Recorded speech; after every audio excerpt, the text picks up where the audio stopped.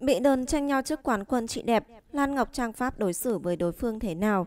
Lan Ngọc và Trang Pháp được cho là rộng đường đòi biêu với những vị trí cao ở chị đẹp đạp giá rẽ sóng. Càng đến gần chung kết chị đẹp đạp giá rẽ sóng, tin đồn về các chị đẹp càng xuất hiện nhiều hơn.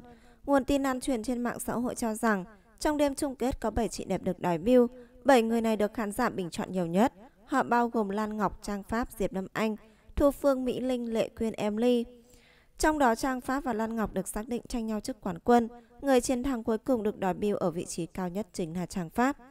Thông tin chưa xác thực nhưng cư dân mạng đã rộn ràng bàn tán. Đa phần khán giả đều cho rằng dù là Lan Ngọc hay Trang Pháp thì ai cũng xứng đáng nằm quán quân.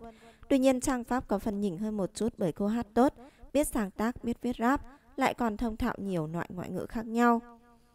Bất chấp việc bị đồn đang tranh nhau trước quán quân, chị đẹp đào sao sẽ sóng. Trang Pháp Lan Ngọc vẫn đối xử với đối phương khá thoải mái vui vẻ.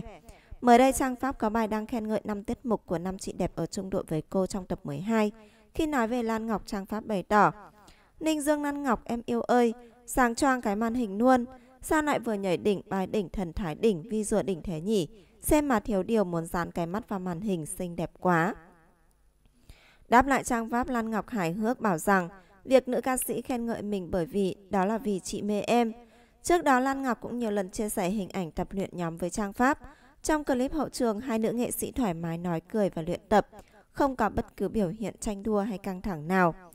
Có thể thấy cả Trang Pháp lẫn Lan Ngọc đều khá vô tư ở cuộc chơi này. Các chị đẹp gần như ngó lơ những tin đồn xuất hiện quanh chương trình mà chỉ tập trung nói về tiết mục và sự cố gắng của nhau. Chị đẹp đạp gió dễ sóng 2023 là chương trình thực tế có sự góp mặt của 30 chị đẹp trên 30 tuổi. Chương trình gồm 5 vòng công diễn và một đêm chung kết thành đoàn. Sau khi trải qua tất cả các vòng thi, chương trình sẽ chọn ra 7 chị đẹp có bình chọn cao nhất để thành lập nhóm nhạc.